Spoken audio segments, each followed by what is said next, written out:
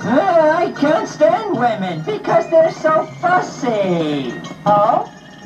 They're fussy, are they? And you can't stand them?